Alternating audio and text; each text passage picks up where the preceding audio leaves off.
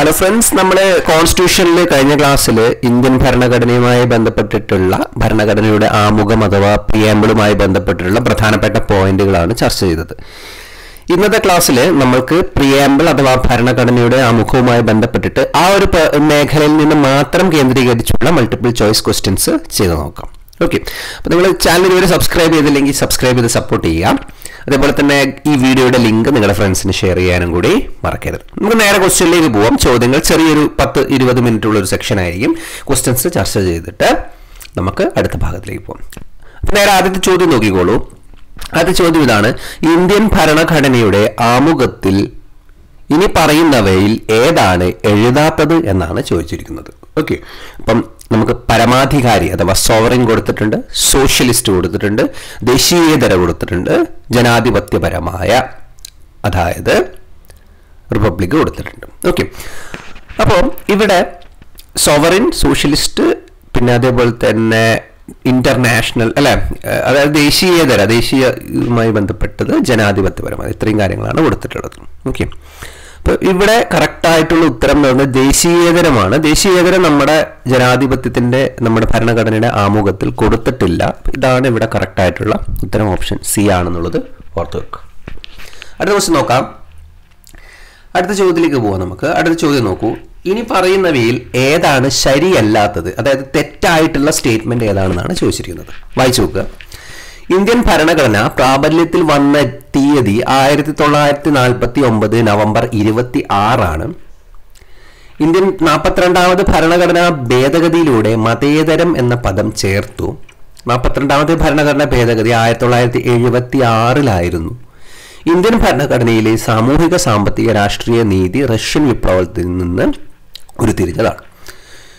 ഇവിടെ നമ്മൾ ഓർത്തു വെക്കേണ്ടത് നമ്മുടെ ഭരണഘടന പ്രാബല്യത്തിൽ വരുന്നത് ആയിരത്തി തൊള്ളായിരത്തി നാൽപ്പത്തി ഒമ്പതല്ല നമ്മുടെ ഭരണഘടന പ്രാബല്യത്തിൽ വരുന്നത് ആയിരത്തി തൊള്ളായിരത്തി അമ്പതിലാണ് ജനുവരി ഇരുപത്തി ആറിലാണ് കെയിം ഇന്റു എഫക്റ്റ് ആണ് ഇവിടെ ഫസ്റ്റ് ഓപ്ഷനായി കൊടുത്തിരുന്നത്. Came into effect nineteen fifty January twenty six ആണ്.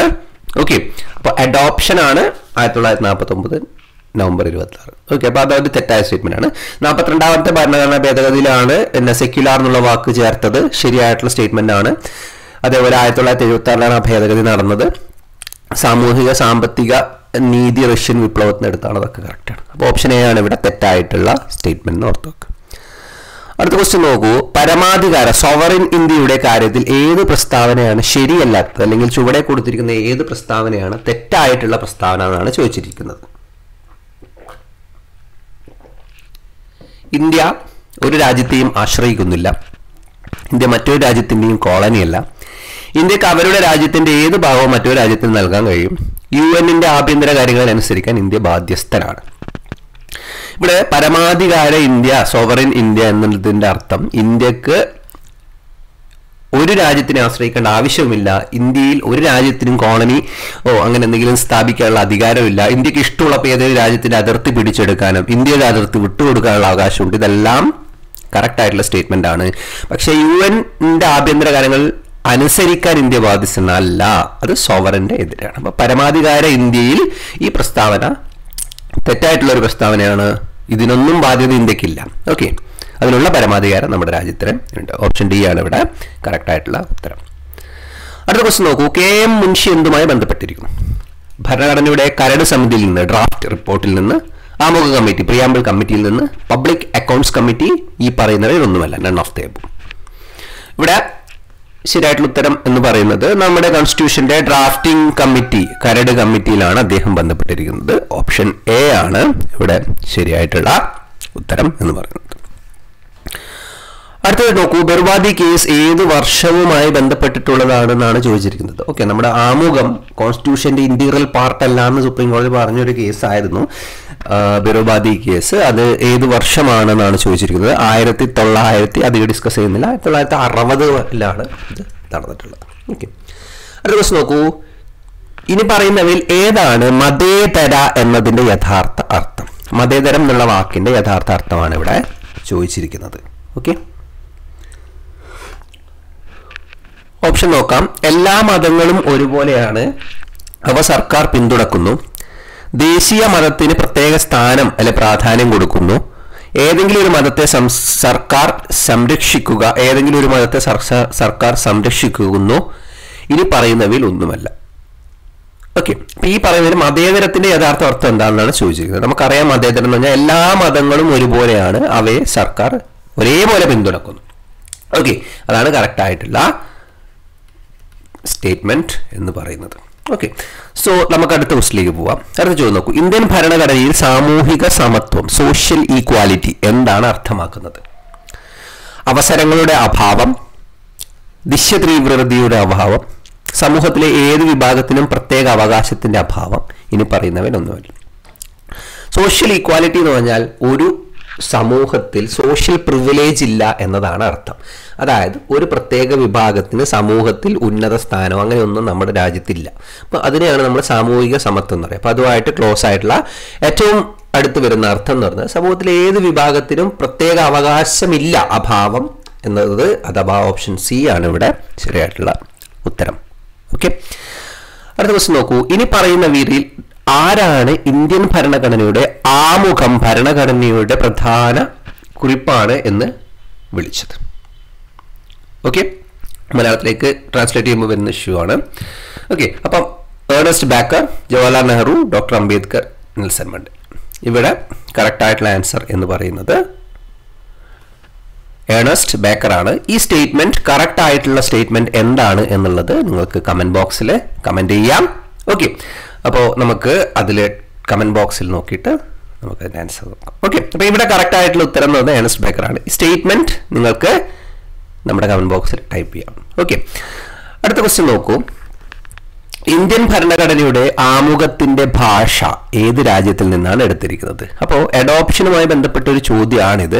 ഇതിൽ വളരെ ഇമ്പോർട്ടന്റ് ആയിട്ട് നോക്കേണ്ടത് ഇന്ത്യൻ ഭരണഘടനയുമായി ബന്ധപ്പെട്ടിട്ടുള്ള ഇന്ത്യൻ ഭരണഘടന ആമുഖവുമായി ബന്ധപ്പെട്ട് മൂന്ന് സ്ഥലത്ത് നിന്ന് ആണ് അഡോപ്ഷൻ വന്നിരിക്കുന്നത്. ഒന്നാമത്തത് അമേരിക്ക രണ്ടാമത്തത് ഓസ്ട്രേലിയ മൂന്നാമത്തത് ഫ്രഞ്ച് വിപ്ലവം. റവല്യൂഷൻ ഇനി എന്തൊക്കെയാണ് ഈ ആമുഖത്തിലേക്ക് കയറ്റിയത് നോക്കാം. അമേരിക്കയിൽ നിന്ന് പ്രിയാമ്പിൾ എന്നതിനെക്കുറിച്ചുള്ള ഐഡിയ എടുത്തു. ഐഡിയ ഓഫ് പ്രിയാമ്പിൾ അമേരിക്കയിൽ നിന്ന് എടുത്തു. ലാംഗ്വേജ് ഓഫ് പ്രിയാമ്പിൾ എടുത്തത് ഓസ്ട്രേലിയയുടെ ഭരണഘടനയാണ്. ഓക്കെ അടുത്തത് ലിബർട്ടി ഈക്വാലിറ്റി ഫ്രാറ്റേണിറ്റി പോലെയുള്ള വാച്ച വാക്കുകൾ എടുത്തത് ഫ്രഞ്ച് റവല്യൂഷൻ മൂന്ന് രീതിയിലും പ്രിയാമ്പിളെ അഡോപ്ഷൻ വന്നിട്ടുണ്ട്. നമ്മളോട് ചോദിച്ചിരിക്കുന്നത് ഇന്ത്യൻ ഭരണഘടനയുടെ ആമുഖത്തിന്റെ ഭാഷ എന്നാണ്. ചോദ്യം കണ്ട ഉടനെ ആളുകൾ അമേരിക്കയിലേക്ക് പോകും. അത് തെറ്റാണ്. ഓസ്ട്രേലിയയാണ് ഇവിടെ ശരിയായിട്ടുള്ള ഉത്തരം. അതായത് ലാംഗ്വേജ് ഓഫ് ദ പ്രിയാമ്പിളാണ് നമ്മളിവിടെ എടുത്ത് ചോദിച്ചിരിക്കുന്നത്. അടുത്ത ക്വസ്റ്റ്യൻ നോക്കൂ. ഇന്ത്യൻ ഭരണഘടനയുടെ ആമുഖം ഇതുവരെ എത്ര തവണ ഭേദഗതി ചെയ്തു? അപ്പോൾ പ്രിയാമ്പിളിൽ എത്ര തവണ അമെൻഡ്മെന്റ് വന്നു എന്നാണ് ചോദിച്ചിരിക്കുന്നത്? ഒരിക്കൽ രണ്ട് തവണ മൂന്ന് തവണ ഒരിക്കലും ഇല്ല. നാൽപ്പത്തിരണ്ടാമത്തെ അമെൻഡ്മെന്റ് ആണ് നമുക്കറിയാം. ഫോർട്ടി സെക്കൻഡ് അമെൻഡ്മെന്റ് ആണ്. സെക്യുലാർ ഓക്കെ അതേപോലെ തന്നെ പിന്നെ ഇത് വന്നത് നമ്മുടെ ഫോർട്ടി സെക്കൻഡ് അമെൻഡ്മെന്റിലാണ് ഓക്കെ അപ്പോൾ നമുക്ക് അടുത്ത ഓക്കെ സോ അപ്പോൾ സോഷ്യലിസ്റ്റ് സെക്യുലർ പോലത്തെ കാര്യം വേർഡ്സ് ഒക്കെ എക്സ്ട്രാ ആഡ് ചെയ്ത് ഈ വോട്ട് ഫോർട്ടി സെക്കൻഡ് അമെൻമെന്റ് അഥവാ മിനി കോൺസ്റ്റിറ്റ്യൂഷൻ വളരെ ഇമ്പോർട്ടന്റ് ആണ് അല്ലേ? അപ്പം നമുക്കിനി അടുത്ത ക്വസ്റ്റ്യനിലേക്ക് പോവാം. അടുത്ത ചോദ്യം ശ്രദ്ധിച്ചോളൂ. ഒരിക്കലാണ് ഭേദഗതി നടന്നത്. ഇന്ത്യ ഒരു മതേതര രാഷ്ട്രമാണ്. ഇന്ത്യൻ ഭരണഘടനയുടെ ഏത് ഭാഗത്താണ് ഇത് വ്യക്തമായി പ്രഖ്യാപിക്കുന്നത്. ഓക്കെ നമ്മുടെ ഒരു പിന്നെ രാജ്യം ഒരു ഭരണഘടന ഒരു ഇന്ത്യൻ ഇന്ത്യ ഒരു മതേതര രാജ്യമാണെന്നുള്ളത് ഏത് ഭാഗത്താണ്? സെക്യുലർ ആണെന്നുള്ളത് ഏത് ഭാഗത്തിലാണ്? ഓക്കെ ആമുഖത്തിൽ പറയുന്ന പറയുന്നുണ്ട്. ഏത് ഭാഗത്താണിത് പ്രഖ്യാപിക്കുന്നതെന്ന് ചോദിച്ചിരിക്കുന്നത്. ഓക്കെ മൗലികാവകാശങ്ങൾ അഥവാ fundamental rights പ്രിയാമ്പിളിൽ directive principles of state policy അതാണ് മൂന്നാമത്തെ ഓപ്ഷൻ ഭരണഘടനയുടെ ഒമ്പതാം ഷെഡ്യൂൾ ഇവിടെ ശരിയായിട്ടുള്ള ഉത്തരം എന്ന് പറഞ്ഞാൽ നമ്മുടെ പ്രിയാമ്പിളിലാണ് പ്രോപ്പറായിട്ട് നമ്മളൊരു സെക്യുലാർ ആണെന്നുള്ളത് കാണിപ്പിക്കുന്നത് ഫോർട്ടി സെക്കൻഡ് അമെൻമെന്റിലാണ് ഈ വേർഡ് നമ്മുടെ പ്രിയാമ്പിളിലേക്ക് ആഡ് ചെയ്യപ്പെടുന്നത്. ഓക്കെ അപ്പോൾ ഓപ്ഷൻ ബി ആണ് ഇവിടെ ഭരണഘടനയുടെ ആമുഖത്തിൽ എന്നതാണ് കറക്റ്റായിട്ടുള്ള ഉത്തരം. ഇന്ത്യൻ ഭരണഘടനയുടെ ആമുഖത്തിൽ മാറ്റങ്ങൾ വരുത്തിയ ഭേദഗതി നിയമം ഏതാണ്? അപ്പോൾ രണ്ട് ഓപ്ഷനിൽ നിങ്ങൾക്ക് കൺഫ്യൂഷൻ വരാം. Forty second അമെൻമെന്റ് nineteen seventy four forty second nineteen seventy six nineteen seventy four അല്ല. നാൽപ്പത്തിരണ്ടാം ഭേദഗതി ആയിരത്തി തൊള്ളായിരത്തി എഴുപത്തി ആറാണ് ഇത് വന്നത്. ഓക്കെ നമുക്ക് അടുത്ത ക്വസ്റ്റിലേക്ക് പോവാം. അടുത്ത ചോദ്യം നോക്കൂ. ഇന്ത്യൻ ഭരണഘടനയുടെ ആമുഖം എങ്ങനെയാണ് നമ്മുടെ രാജ്യത്തിനെ പ്രഖ്യാപിക്കുന്നത്? അതായത് ഈ ഭരണഘടനയുടെ ആമുഖം ഇന്ത്യയെ എങ്ങനെ പ്രഖ്യാപിക്കുന്നു? ഒരു ഫെഡറൽ ഡെമോക്രാറ്റിക് റിപ്പബ്ലിക് പരമാധികാര socialist secular democratic republic socialist democratic republic പരമാധികാര ഡെമോക്രാറ്റിക് റിപ്പബ്ലിക് ഓക്കെ അപ്പോൾ നമ്മുടെ രാജ്യം നമ്മളെ എങ്ങനെ പ്രഖ്യാപിക്കുന്നതാണ് ചോദിച്ചിരിക്കുന്നത്? നാൽപ്പത്തിരണ്ടാം ഭേദഗതിക്ക് ശേഷം ആണ് ഇവിടെ ഉദ്ദേശിച്ചിരിക്കുന്നത്. അതല്ലെങ്കിൽ പ്രത്യേകം എടുത്ത് ചോദിക്കും. നാൽപ്പത്തിരണ്ടാം ഭേദഗതിക്ക് ശേഷം നമ്മുടെ രാജ്യം ഒരു sovereign socialist secular democratic republic ആണ് നമ്മുടെ രാജ്യം. ഓക്കെ ഒരു പരമാധികാര socialist secular democratic republic option B ആണ് ഇവിടെ ശരിയായിട്ടുള്ള ഉത്തരം എന്നത് ഓർത്തു വെക്കുക. അടുത്ത ചോദ്യം നോക്കൂ. ഇന്ത്യൻ ഭരണ ഭരണഘടന ഉദ്ഘാടനം ചെയ്യപ്പെട്ട ആയിരത്തി തൊള്ളായിരത്തി അമ്പത് കെയിം ഇൻ ടു ബി ആയിരത്തി തൊള്ളായിരത്തി അമ്പത് ജനുവരി ഇരുപത്തി ആറിന് ഇന്ത്യൻ റിപ്പബ്ലിക്കിന്റെ കൃത്യമായ ഭരണഘടനാ നില എന്താണ്? നേരത്തെ ചോദ്യം തന്നെയാണ്. അതിന്റെ ഒരു വേറൊരു ടൈപ്പാണ് നാൽപ്പത്തിരണ്ടാം ഭേദഗതി പരിഗണിക്കുന്നതിന് മുന്നേ ഉള്ള സിറ്റുവേഷനാണ് ചോദിച്ചിരിക്കുന്നത്. അപ്പോൾ നമ്മുടെ ഭരണഘടന ഉദ്ഘാടനം ചെയ്യുന്ന ആയിരത്തി തൊള്ളായിരത്തി അമ്പതിൽ ജനുവരി ഇരുപത്തി ആറിന് ഇന്ത്യൻ റിപ്പബ്ലിക്കിന്റെ കൃത്യമായ ഭരണഘടന നില എന്താണെന്നാണ് ചോദിച്ചിരിക്കുന്നത്. ഇവിടെ ഒരു പരമാധികാര സോഷ്യലിസ്റ്റ് സെക്യുലർ ഡെമോക്രാറ്റിക് റിപ്പബ്ലിക് ആവില്ല. അത് നാൽപ്പത്തിരണ്ടാം ഭേദഗതിക്ക് ശേഷമാണ് അങ്ങനെ ആയത് സെക്യുലർ സോഷ്യലിസ്റ്റ് വന്നത്. പരമാധികാര ഡെമോക്രാറ്റിക് റിപ്പബ്ലിക് പരമാധികാര സെക്യുലർ ഡെമോക്രാറ്റിക് റിപ്പബ്ലിക് സെക്യുലർ ഇല്ല ഒരു ഡെമോക്രാറ്റിക് റിപ്പബ്ലിക്. അപ്പോൾ ഇവിടെ ആപ്റ്റ് ആയിട്ടുള്ള ആൻസർ എന്ന് പറയുന്നത് ഓപ്ഷൻ ബി ആണ്. സോവറിൻ ഡെമോക്രാറ്റിക് റിപ്പബ്ലിക് ആയിരുന്നു ആയിരത്തി തൊള്ളായിരത്തി അമ്പത് ജനുവരി ഇരുപത്തി ആറ് ആയിരത്തി തൊള്ളായിരത്തി എഴുപത്തി ആറ് നാൽപ്പത്തിരണ്ടാം ഭേദഗതിക്ക് ശേഷമാണ് ഈ ആദ്യം വന്ന രീതിയിലേക്ക് നമ്മുടെ രാജ്യം മാറുന്നത്.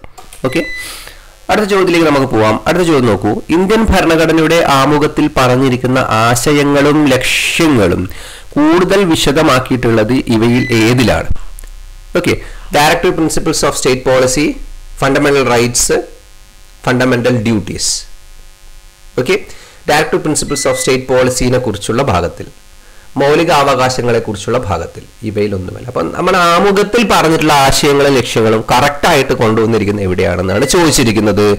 അപ്പോൾ ഇത് നിങ്ങൾക്കായി ഇട്ട് തരുന്ന ഒരു ക്വസ്റ്റ്യൻ ആണ് ഇത് വായിച്ചു നോക്കിയിട്ട് നിങ്ങൾക്ക് നിങ്ങളുടെ കമന്റ് ബോക്സിൽ നമ്മുടെ കമന്റ് ബോക്സിൽ ഉത്തരം പറയാം. ഓക്കെ സോ എന്താണ് നിങ്ങളുടെ ഉത്തരം എന്നുള്ളത് കമന്റ് ബോക്സിൽ ജസ്റ്റ് ഒന്ന് കമന്റ് ചെയ്യാം ഓക്കെ സോ ഇത്രയുമാണ് ഇന്ന് നമ്മൾ ആമുഖവുമായി ബന്ധപ്പെട്ട് മാത്രം ചർച്ച ചെയ്ത ക്വസ്റ്റ്യൻസ് അപ്പം അടുത്ത ക്ലാസ്സിൽ നമുക്ക് ഫണ്ടമെന്റൽ റൈറ്റ്സും ഫണ്ടമെന്റൽ ഡ്യൂട്ടീസിനെ കുറിച്ചൊക്കെ നോക്കണം. നിങ്ങൾ ക്ലാസ് ഇതുവരെ സബ്സ്ക്രൈബ് ചെയ്തില്ലെങ്കിൽ നമ്മുടെ ചാനൽ സബ്സ്ക്രൈബ് ചെയ്യുക. വീഡിയോ ലിങ്ക് നിങ്ങളുടെ ഫ്രണ്ട്സിന് ഷെയർ ചെയ്ത് കൊടുക്കുക.